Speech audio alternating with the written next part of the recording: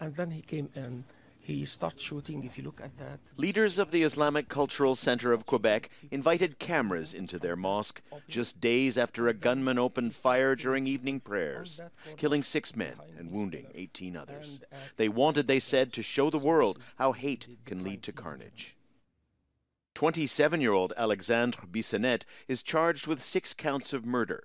Reports say he had made right wing, anti immigrant, and anti woman posts on social media.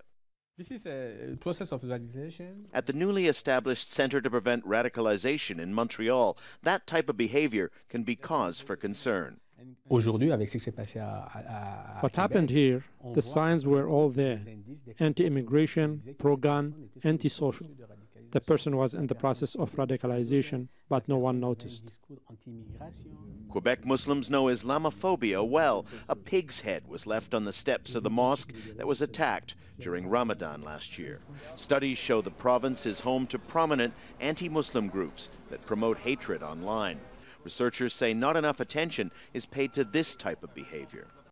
Once you say a word or two supporting a jihadi group online, you are in trouble with the law but somehow uh, right-wing groups and individuals and activists get a pass under the cover of freedom of expression and freedom of conscience.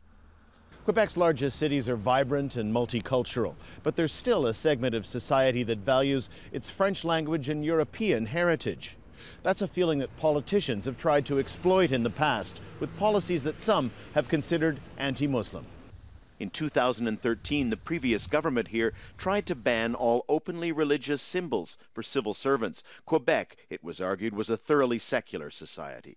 The proposal was seen as mostly aimed at Muslims, though other religions were included.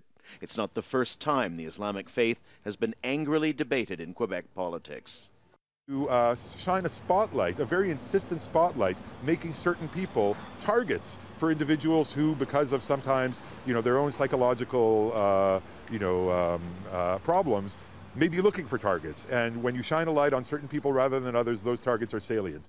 This week, tens of thousands of Quebecers expressed solidarity with the Muslim community. Politicians have promised to tone down rhetoric that could fuel hate. Whether that can last once the sense of profound shock at the mosque attack subsides is impossible to know now. Daniel Lak, Al Jazeera, Quebec.